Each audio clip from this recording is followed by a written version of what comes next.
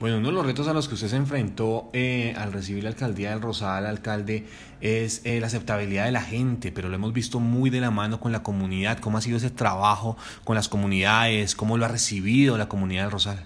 Bueno, básicamente eh, estamos haciéndolo, ¿no?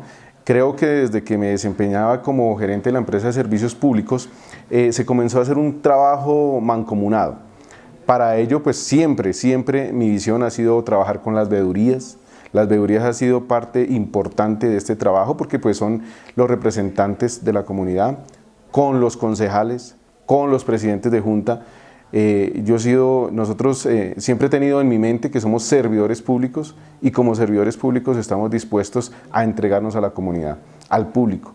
Eh, y son ellos los que en realidad tendrán ese triunfo de, de, que el 31 de diciembre de este año se puedan entregar cada una de esas actividades. ¿no?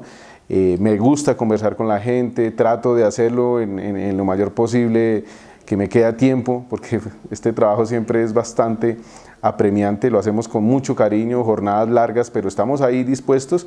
Cuando me queda tiempo, pues salimos a trabajar con la comunidad, salimos a, a, que nos conozcan cada día más. Yo sé que ya un gran sector de la población, si no digo más del 50%, tienen conocimiento de nuestra gestión, tienen conocimiento de nuestra personalidad, de nuestra forma de ser y saben que soy una persona dada a la gente, soy una persona que, me gusta conversar con las personas y ayudarles de forma directa.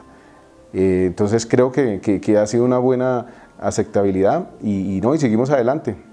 Bueno, alcalde, por otro lado, eh, teniendo en cuenta las noticias que tuvimos hace algunos eh, días as parte de la suspensión de el director de la CAR, y que la cara anuncia que se retira algunos proyectos, ¿cómo se ve el Rosal damnificado, perjudicado de cierta forma con, esa, con ese retiro de proyectos? Porque sabemos que estaban trabajando con el tema de, del río Bogotá y de todo ese proyecto.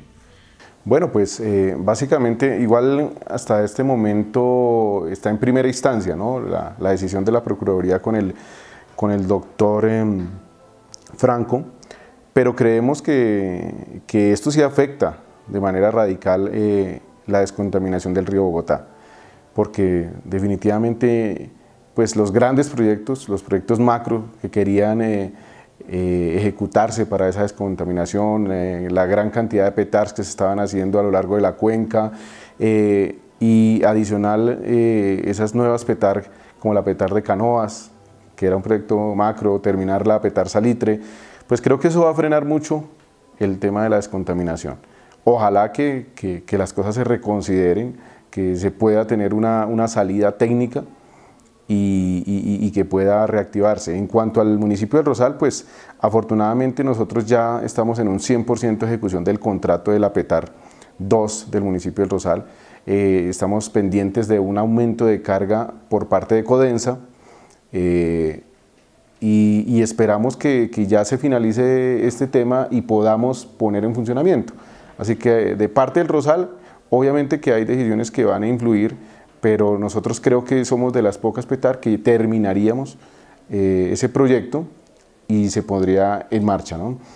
Eh, pero en cuanto al global, en cuanto a lo que es toda la cuenca, sí de pronto consideramos que, esta decisión eh, afectaría de manera radical la ejecución definitiva y ver a nuestro río Bogotá totalmente o parcialmente en un gran avance de esa descontaminación que tanto queremos en, Cundinamarca. Bueno, alcalde, por otro lado, estamos estrenando comandante de policía aquí en el Rosal, Cundinamarca. ¿Cómo ha sido esa articulación, ese empalme, ese trabajo por la seguridad de nuestro municipio? Bueno, eh, sí, eh, tenemos al, eh, teniente, subteniente Jonathan Suárez, viene de trabajar en el municipio de Soacha, es un, un, un oficial con muy buenas garantías y también está de su comandante el intendente Cerquera, que son dos personas que conocen eh, de la mano este tipo de trabajo con la comunidad, una comunidad que obviamente tiene otras condiciones, otras características a otros municipios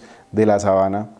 Eh, el municipio del Rosal pues, se ve enfrentado a situaciones eh, por el aumento, obviamente, de otro tipo de poblaciones, el tema del microtráfico, el tema ahora de muchos hurtos. Entonces creo que con, este, con esta pareja y los demás oficiales que se están realizando y toda la incorporación, el apoyo de la parte administrativa del municipio de Rosal. Creo que vamos a tener durante los próximos días una gran estrategia para que ellos tengan todas las herramientas. Tengo casi 13, 13 proyectos solamente enfocados al tema de seguridad. Dentro de ellos vamos a tener cámaras, se les ha entregado una camioneta nueva, dos motocicletas nuevas, se va a tener un centro de monitoreo especial para ellos, se va a eh, aumentar la red de apoyo. O sea, creo que estoy dando todas las garantías, todas las herramientas para que ellos puedan cumplir a cabalidad eh, sus funciones de policía. Todos tenemos eh, un reto, ellos tienen en este momento este reto importantísimo